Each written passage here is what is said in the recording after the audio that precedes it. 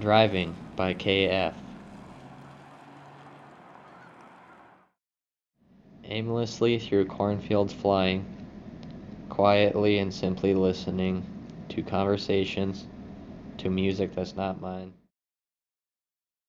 to laughing and memories being made. Going nowhere but not minding, numbers fade from importance, and the dials behind the wheel don't matter. Only the dirt, the road, the growing dark. No destination, no worries about going back. Changing sky and the people you just met, but are certain you can't forget.